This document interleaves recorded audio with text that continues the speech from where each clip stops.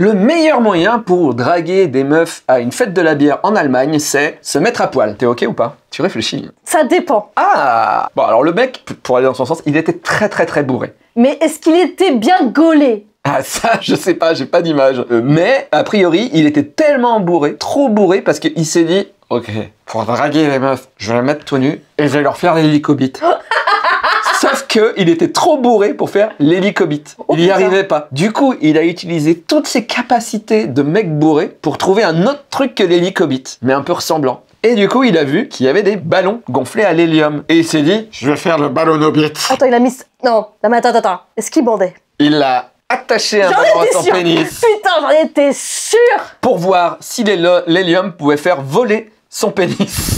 Oh, est-ce que l'hélium... Est-ce que tu peux... Est-ce que tu peux siffler de la bite? Tu veux dire que ta bite, elle fasse... Ah, ça, j'ai jamais essayé. euh, Est-ce que quand t'éjacules, ça fait... ça fait le bruit. Donc, il a attaché son pénis pour voir s'il pouvait flotter. Spoil, le pénis n'a pas flotté. Le nœud était trop serré, le sang s'est accumulé, les pompiers ont dû intervenir. Oh, les cas qui doivent voir les pompiers. Oh mon dieu Spoil, il n'a pas baisé ce soir-là. Scoop, Pixar a acheté les droits.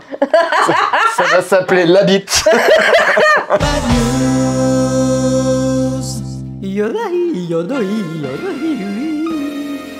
Découvrez le Tyrol, la Bavière, le Bergkrone ou encore la Suisse alémanique dans un DVD proposant les plus beaux panoramas alpins et les plus beaux paysages massifs au son du traditionnel yodel. Une heure de ressources et de repos apaisant dans les forêts des Alpes orientales jusqu'au Trentin autrichois. Un véritable bol d'air pur et de fraîcheur. Prochainement apparaître, le DVD Yodel Texan, revigorant et authentique.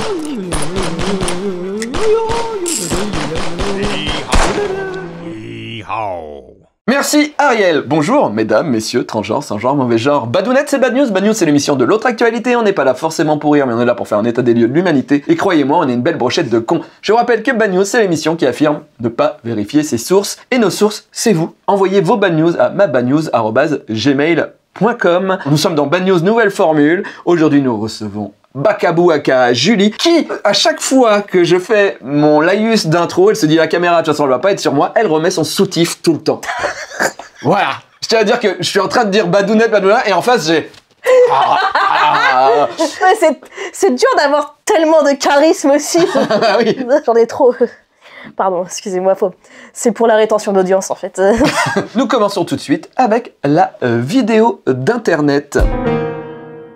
Je précise un petit peu, c'est une vidéo que j'ai trouvée sur Instagram. Je pense que c'est une vidéo qui nous vient des pays de l'Est. Je pense que ça va te faire rire. Bah. Quand les boys bands euh, ont les micros branchés et que le CD n'est pas assez fort, leur journée est différente lorsqu'ils font un prime à la télé.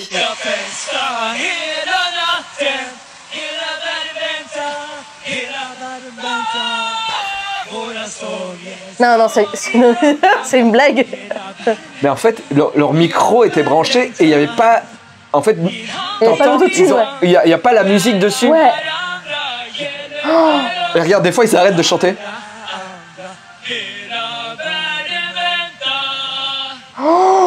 Mais en fait, en vrai, imagine, ils, ils chantent en playback à la télé, mais imagine tous ces playbacks qu'on perd, tous ces trucs où les gens, ils font juste na na na na na na na. Tout le monde doit faire ça, tu vois. Bref, ça m'a fait rire. Allez, on passe au en bref. En bref. En bref, d'itinéris. En France, Monsieur T avait porté plainte pour licenciement abusif parce qu'il avait demandé à ne pas participer aux apéros fun du vendredi de sa société où les employés se livraient à l'alcoolisme et au dérapage. N'étant pas assez fun, il a été viré. Il a fait appel au prud'homme et a gagné 500 000 euros 500 000 euros. et l'obligation à la société de le réintégrer. Les vendredis ne seront vraiment, vraiment plus fun du tout. Dans quel pays? En France 500 000 euros? En France? Tu veux que je t'invite à mes vendredis apéro fun Attends, mais c'était quand? C'était quand? Parce que moi je veux savoir. Je sais pas, Histoire je que je t'attaque au prud'homme parce que là c'est. Ça va, ça va en ce moment euh, au niveau euh, pécunier? Tu t'en sors? 500 000 euros, ça serait pas mal, hein En bref, de mets-toi un doigt. L'homme originaire du village près de Karnal, au nord de New Delhi, ne se sentait pas bien depuis plusieurs jours. Son état se dégrade. Ses proches l'ont conduit à l'hôpital où il a été placé sous respirateur artificiel. Après 4 jours, observant son affaiblissement progressif, les médecins ont déclaré que son rythme cardiaque s'était arrêté. La famille triste prépare les obsèques. Il est mort. On le met dans une ambulance pour l'emmener chez les pompes funèbres. La voiture roule sur un nid de poule et son cœur repart. C'est un miracle. Maintenant, nous espérons que mon grand-père se rétablira bientôt, nous dit le petit-fils. Les plats préparés pour les obsèques ont été distribués aux personnes qui devaient assister à la crémation. Comme quoi, des fois, ça peut être des good news. Oui. Après, non, non, non, pas d'histoire d'héritage. hein, c'est- méchant de penser Ah, à putain, ça. ça va, ça va la thune 500 000 balles Le point rencontre, le 4 et 5 mai, je serai à Lyon, à la Japan Touch, euh, en dédicace. Le 18 mai, on sera en dédicace à Nice avec Eleanor Jenkins, Ariel Bitume et Benjamin. Donc l'après-midi, on dédicacera des BD et le soir, on enregistre notre podcast en public, le dernier de la saison, histoire d'en rire en public à Nice le 18 mai. On passe au kink de la semaine. Stop On arrête de manger. Cette semaine, je voudrais qu'on parle de l'éproctophilie. Non, les proctophilies, c'est les. Alors, c'est le king du prout. Oui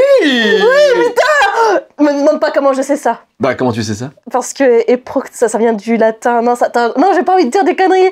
Je Non j'ai mais pas t'as raison, raison. Phil- Phili, aimer, procto, procto, proctologue, euh, le le prout. cul, c'est le cul quoi. Oui, ouais. Ça s'appelle aussi le fart fétiche. C'est pour ça que j'ai commencé par le mot un peu plus savant. Souvent utilisé dans le BDSM, l'odeur et le bruit est très important pour un fantasme réussi.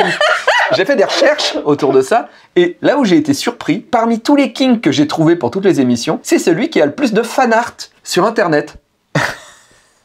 là c'est une, une mise en situation. Mais putain, mais moi j'ai le malheur Sur TikTok, l'algorithme, dès que tu regardes une vidéo, Ah oui. t'as plein de vidéos euh, du même sur le même thème. Bon, moi j'ai des vidéos de prout et des vidéos de chat. Parce que j'ai voilà, j'ai rigolé à une vidéo de prout, ça y est, j'ai plein de vidéos de paix. Alors moi j'ai a- que des chats et des Power Rangers mais euh, J'ai vu des vidéos où des meufs s'amusaient à péter sur leur conjoint. Ben, peut-être que ça fait partie du Ou truc. alors vraiment qui faisaient que des, vraiment des, des, des vidéos de prout à répétition et qui vraiment. euh, C'était je que pense ça. qu'elles ont plein de mecs un peu excités qui regardent. Mais ça que- fait des vues Non mais j'ai trouvé ça, c'est Internet est rempli. Regarde, regarde, regarde.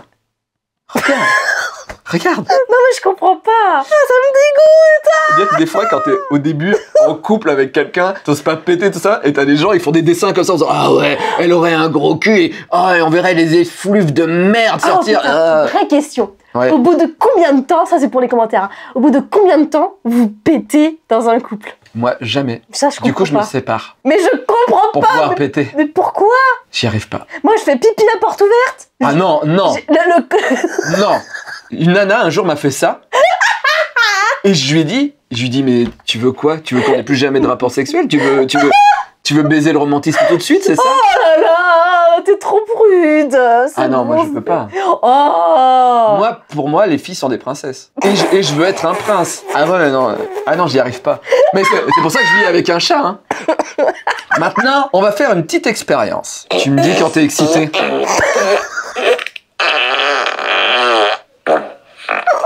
Je je parle d'excitation. euh, mais J'ai pas l'impression que tu mouilles, hein, j'ai l'impression que tu ris. C'était pas la mouille recherchée. Mais bon, bref. Et donc, ça veut dire qu'il y a des gens qui euh, ont peut-être eu une érection en regardant Bad News. Là. Oh mon dieu Pour finir, euh, je pense que euh, ça serait pas mal, euh, vu que ce sujet euh, nous amène euh, au milieu du, du gaz, euh, de revoir une vieille vidéo d'internet que j'aime beaucoup.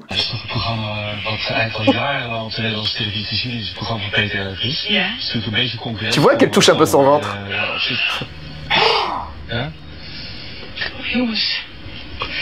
Ik ben... Mais elle porte du blanc en plus Non mais c'est horrible, c'est à la télévision Franchement, c'est...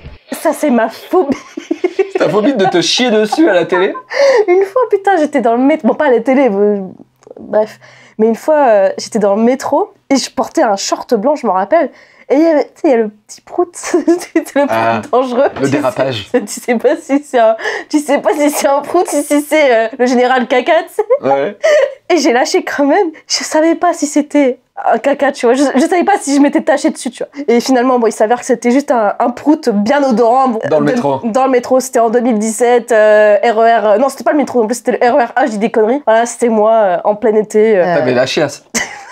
Ouais, une belle chiasse. Ah. Ça, et la chiasse dans le RER. Tu sais qu'avant les RER, il y avait des toilettes et qu'ils les ont fermées parce que bah il y avait trop de viols ou de d'attaques, d'agressions, Oui. de trucs comme ça. Mais c'est vrai que le RER, à la base, c'est comme des trains. Donc du coup, c'est des longs voyages. Ouais. Et t'as une chiasse dans le RER, c'est la galère de chez galère. hein. C'est pas dans le RERD justement où il y a des épidémies de, de chiasse Il y a des épidémies de chiasse dans le RERD. Apparemment, ça fait beaucoup caca dans le RERD. Je savais pas que le RERD. Alors dites-nous si vous prenez le RERD, si vous êtes tombé sur des étrons dans votre RER. Eh, moi j'ai un peu soif. Quelle est ma boisson préférée? Le sperme. Euh, Non, Oli. Salut, c'est Davy Mourier. Bienvenue dans le podcast. Eh oui, on fait un retour en arrière dans les années 2010 pour parler des boissons Oli. Mais enfin, qu'est-ce que c'est que les boissons Oli Mais enfin, casse de vélo, c'est ça les boissons Oli. Enfin, ça c'est que de l'eau parce que les boissons Oli, c'est de la poudre. Comme le Tang. Tu te rappelles le Tang? Oui, j'y vais faire mes courses dans le 13e. Wow, wow, wow Ce podcast imite les années 2010, mais on est en 2024. Garde tes blagues un petit peu trop. Les boissons Oli C'est des boissons qui n'existaient pas en 2010, et on aurait bien voulu, parce qu'elles sont sans sucre. Elles ont très très peu de calories. Vous avez des boissons énergisantes, Apple Alligator. Des boissons pour après le sport, kiwi, fraise. Sky Lime C'est trop bon, j'adore. Le principe est simple, un peu de poudre que vous versez dans 500 ml d'eau. De la poudre comme dans Breaking Bad Waouh On est vraiment en 2010. Et ensuite, c'est trop cool à faire. On agite.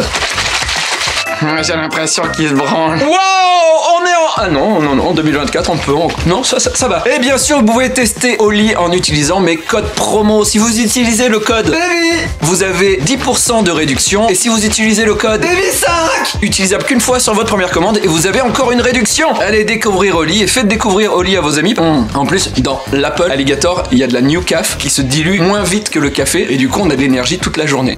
Qu'est-ce que je suis nostalgique des années 2010 tout était tellement mieux. Et surtout ma bite qui était beaucoup moins molle.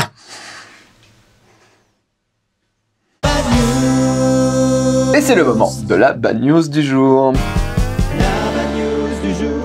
Petit disclaimer Bad News existe depuis presque 5 ans. Là, quand j'ai écrit cette Bad News, je me suis dit, putain, est-ce que je l'ai pas déjà faite à Thomas il y a genre 4 ans? Et je m'en rappelle plus. Vous, qui connaissez peut-être Bad News plus que moi, dites-le dans les coms si j'avais déjà parlé de cette Bad News ou pas. En tout cas, on est parti à la découverte de Mary Von Roca Moraes, une femme de 37 ans qui a une vie de famille compliquée. Elle est mariée à Marcello, un mari aimant, mais il en branle pas une. Et c'est elle qui fait bouillir la marmite. Marcello, il en branle pas une parce que c'est une poupée de chiffon grandeur nature. Mais la bonne nouvelle, c'est que la famille s'agrandit. Elle a eu un premier enfant poupée nommé Marcellino, suivi des jumelles Marcellina et Emilia. Et croyez-moi, cette famille est magnifique. Oh, alors je m'attendais à tout sauf à ça. Elle nous dit que c'est dur de s'occuper de trois enfants. Surtout que Marcello continue à toujours rien branler. Non mais, non mais attends, mais, mais c'est pour le buzz Alors, je suis pas très sûr parce que c'est sur plusieurs années. Elle remplit sa page Facebook comme ça et elle dit Quand je suis très fatiguée, mon mari m'aide à me laver, à manger et à dormir. Mary Yvonne prétend que son mari serait stressé de pas réussir à subvenir aux besoins de la famille. Moi, je dis qu'il pourrait essayer de vendre un rein, mais il en a pas. Non mais c'est un, un RP, je sais pas, c'est un roleplay. Tu crois pas à son amour. Non mais là, non mais je- non mais après c'est valide 10, Mais non. regarde euh, Mais non mais il y a un problème. de- Ouais. Non mais je juge pas après. mais- Surtout qu'elle dit qu'elle est heureuse en couple et qu'elle vit dans une maison remplie d'amour et de rires d'enfants. Alors, si elle entend des rires d'enfants la nuit, Oula faut bizarre. hein. vraiment qu'elle se fasse hospitaliser. Ah, c'est c'est très creepy là. Malheureusement, les dépenses augmentent et Marcello doit payer la nourriture, les vêtements, le loyer, l'eau, l'électricité et les médicaments, affirme-t-elle. Par conséquent, il est un peu inquiet de devoir payer ses factures. Mais rien n'est rose, même dans le monde des poupées. Marcello aurait déjà trompé sa femme. Avec quoi Avec un, Attends. avec un bal William avec, haut. C'est lui en fait le bal William avec la bite là. Un de ses enfants a été enlevé et le ravisseur aurait exigé 100 euros. pour le livrer. C'est le, le mec, il a enlevé une poupée, du coup, mais regarde, comment c'est laid Ah, Bref, Mary Yvonne voit les choses en grand car elle aimerait acheter une maison avec sa famille. Julie, on m'a dit que t'avais un grand coffre dans ta Twingo. Ça te dirait qu'on se voit après l'émission Tu me fais peur J'ai pas de bite, mais je lèche. Ça tout de suite là normal là, ça suffit hein. Bon, c'est le moment de la correction de Sylvain. Bonjour les badounettes. Bonjour Dans la Bad News 256, dans l'introduction, Ariel commet un jeu de mots euh, glissant. Qui cabaret la porte de la cave? Cabaret, cabaret, on dirait presque un rébus. Qu'il aurait justement bien pu privilégier ici? Car barré. Eh, hein Un rébus est une devinette graphique, suite de dessins, de mots et ou de chiffres évoquant par le son la solution. Par exemple, si, né, ma. Ou encore, toujours avec une si, 606, 606 près, euh, 606, 606 près. Rien à voir, mais j'aime bien montrer mes qualités de diction. euh. Je suis comédien, donc euh, si vous cherchez quelqu'un, euh, bon, forcément pas dans un film d'époque, hein, mais, mais je sais jongler, je sais faire mes propres cascades, et je sais faire ça aussi. Bref, bref. Toujours avec une scie donc, le rébus, épi, euh, scier, épicier. Euh, vous avez peut-être déjà vu aussi euh, des hôtels slash auberges arborés fièrement un lion en or sur leur enseigne brinque-ballante. Ça remonte à une époque où les gens ne savaient pas forcément lire. Au lion d'or, au lit, on dort. On savait direct de quel genre d'établissement il s'agissait. C'est fou. Et puis, on avait les petits bouts en train de l'époque, comme Voltaire, quand il répondait par SMS à Frédéric de Prusse quand il l'invitait au domac. J'ai grand à petit entre 6 et 7. J'ai grand appétit entre 6 et 7. On fait plus assez de rébus. C'est con, c'est rigolo. Tiens, pour vous encourager à en mettre en commentaire, j'en ai même trouvé un juste pour vous, les badounettes. Le premier qui trouve un commentaire, on s'organise ça ce week-end. Euh, la première, à choisir plutôt, euh, s'il vous plaît. Au revoir les badounettes. Merci beaucoup Sylvain. Je vous rappelle que Bad News existe aussi grâce à vous. On a un Patreon, un Tipeee. Le dimanche, il y a notre podcast. Si vous voulez retrouver Eleanor Jenkins plus souvent, elle est là tous les dimanches dans Histoire d'en rire. Le mercredi, c'est Culture Z sur ma deuxième chaîne YouTube. Et le jeudi, live Twitch à 19h30 à peu près avec un quiz. Merci d'avoir suivi Bad News. Nouvelle formule. La semaine prochaine, notre invité sera Thomas Combray on va parler de son film Ciao Ciao. Pourtant que la montagne est belle, comment peut-on s'imaginer qu'en voyant un vol d'hirondelles, que l'automne vient d'arriver?